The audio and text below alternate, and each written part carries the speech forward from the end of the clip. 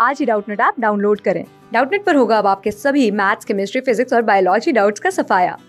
बस अपने क्वेश्चन की फ़ोटो खींचो, उसे क्रॉप करो और तुरंत वीडियो सोल्यूशन पाओ। Download now. हेलो एवरीवन हमारा आज का प्रश्न है ए और बी की मासिक आय का अनुपात तीन, अनुपात पाँच है, उनकी बचत का अनुपात दो, अनुपात तीन है। यदि बी की आय ए की बचत की तीन गुना के बराबर है तो ए और बी की व्यय का अनुपात क्या है? हमारे दिए हुए विकल्प हैं पाँच अनुपात आठ, दूसरा है आठ अनुपात पंद्रह, तीसरा है सात अनुपात ग्यारह और चौथा है तीन अनुपात सात। अब हमें दिया हुआ है ए और बी की मासिक आय है। मान लेते हैं तीन एक्स और पाँच एक्स है। ये हमारी क्या है? आय है। और हमारी बचत कितनी है? बचत हमें दे रहा है दो वाई और तीन वाई हो गई। ठीक है?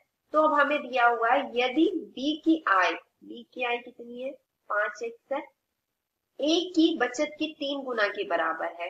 मतलब इसका तीन गुना अब हम हल करेंगे तो हम निकालेंगे पाँच एक्स बराबर कितना हो गया? छह वाई तो एक्स और वाई हमें कितना प्राप्त हुआ? एक्स बटे वाई बराबर छह बटे पाँच। मतलब एक्स की जगह पे हम छह रख दें और वाई की जगह पे हम क्या रख दें? पाँच रख दें। तो हमें क्या प्राप्त हो जाएगा? हमें प्राप्त हो जाएगा ए और बी आय हमें कितनी प्राप्त हो गई? छती अठारह और छह गुणे पाँच, यानी तीस। और हमारी बचत कितनी हो गई?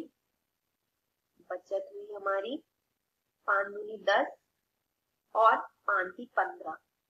अब हमें बोल रहा है, इनके व्यय का अनुपात ज्ञात करना है, व्यय अगर आय इतनी और इतनी बचत की, बाकी का तो उन्होंने व्यय किया मतलब आठ, अनुपात में पंद्रह।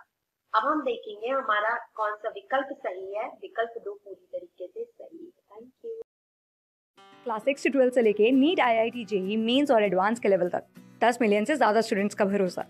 आज ही डाउनलोड करें डाउट नेट आप या व्हाट्सअप कीजिए अपने डाउट्स आठ चार सौ चार सौ चार सौ पर।